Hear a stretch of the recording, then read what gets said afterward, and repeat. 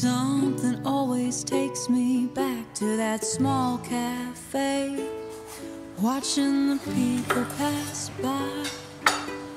The west coast sun is hot on my skin, summer breeze is moving in. Once again, I forget all the places I could be when you